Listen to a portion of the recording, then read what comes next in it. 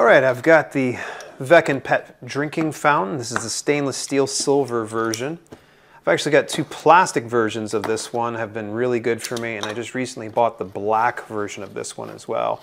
I like to have a couple of water fountains for my cats to drink from.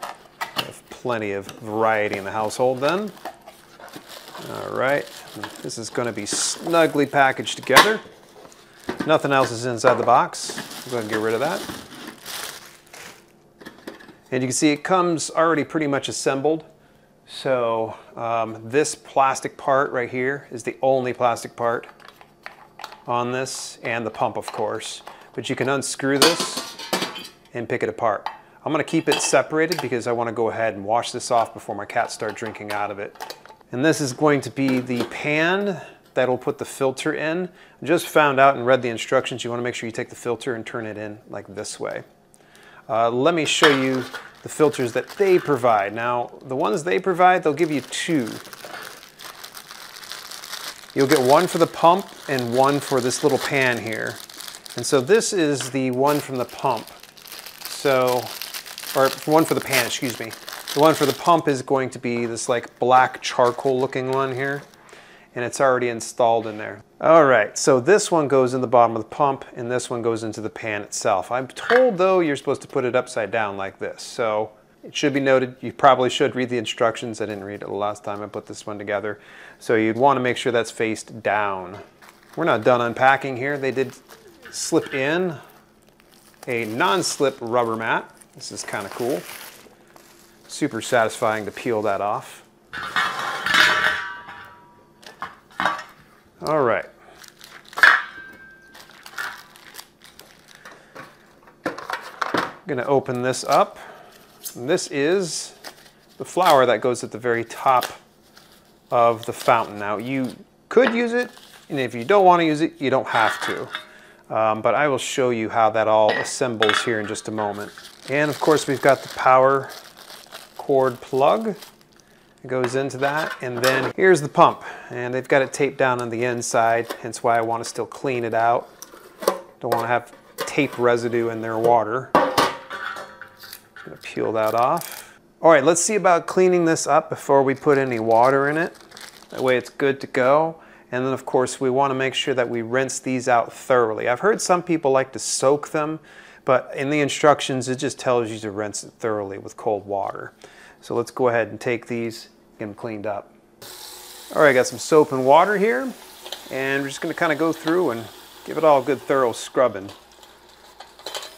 So I just unscrewed this, that simple. Got a bottle brush. Now this doesn't come along with the pack, so you may want to order some, or if you got some on hand, you can always do that. Scrubbing it down real good. Rinse it off thoroughly. And again, all we have to do to reassemble this is put the plastic right back in there and it screws right back on. Here's the pan where we're going to put the filter in. And we're going to give this a nice scrub in here because it had some of the tape residue in here. The one thing I noticed about this stainless steel version of the Veken Pet Fountain is they, they've got like this little indentation where you put your pump. But with the plastic version, there's actually like a, a, cradle that it goes into or like a, like a harness so that way it holds it in place. So as I was putting together my last version of this, the black version of this, uh, I discovered that it kind of slips a little bit. So you want to make sure that you double check that before you put everything on top because that pump needs to be sent right up the middle. Otherwise, if it's slightly off, it's going to create vibrations and everything else like that. So, all right, so with the pump, it's coming with the filter. Pull that out and set it off to the side because we're going to rinse that out. And what we're going to do is pull this part off. Boom. And then the next part, you're going to reach into there, and I use needle nose pliers on this. Just go in and you're going to grab the fan, and it's going to seem like you're going to break it, but I promise you won't as long as you just pull straight up. It should come all the way out. So, uh, famous last words here. Let's try this again. And it pulled out. And after that, should be able to get right back in here with no issue whatsoever. It's magnetic, by the way. So we're just gonna set this off to the side. And anytime you're washing your pump, you wanna make sure you get a little bit of the cord as well. And yes, You should not, do not wash this when it's plugged in. I think needs to be said. A lot of people probably kind of wonder, like, how do you do this without getting electrocuted? Well, it's probably a good idea not to wash it while it's plugged in.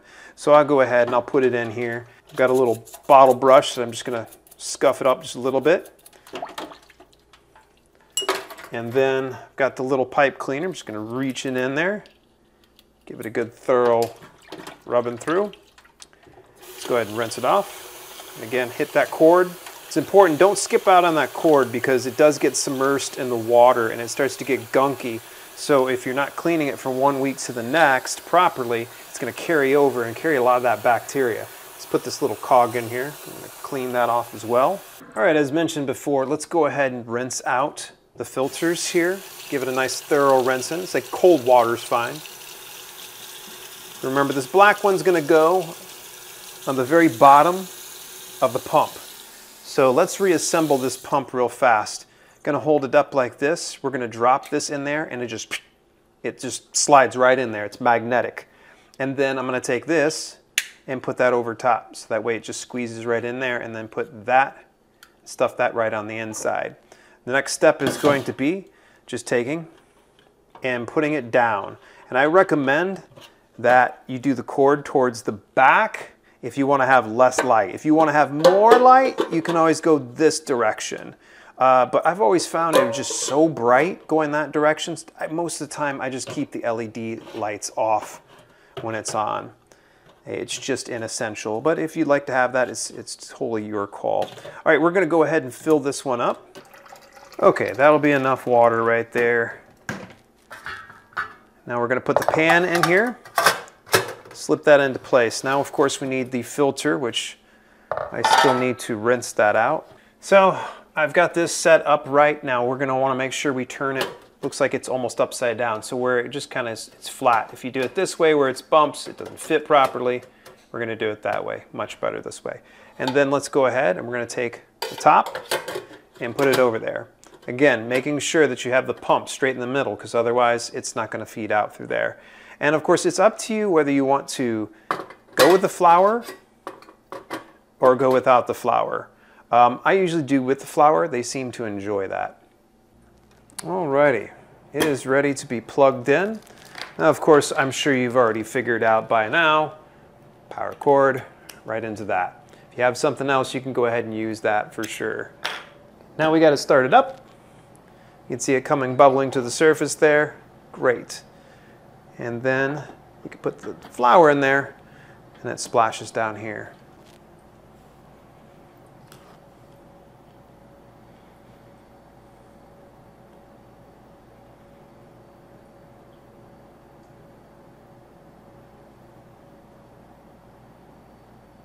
Okay, and then if you want to have the light on or off, that's completely up to you. I usually just keep the stinking thing off because it just seems to interfere with what I like doing, but you can see that the light was pointed towards the back of the fountain, so that it's a little less bright. If you point it towards this direction, it does get significantly brighter. So I'm just going to shut it off. You can see how it works really well. Now, if you find that the trickling drives you absolutely crazy, then I would say get rid of the, the flower um, because the flower tends to make a little bit of the splashing and such.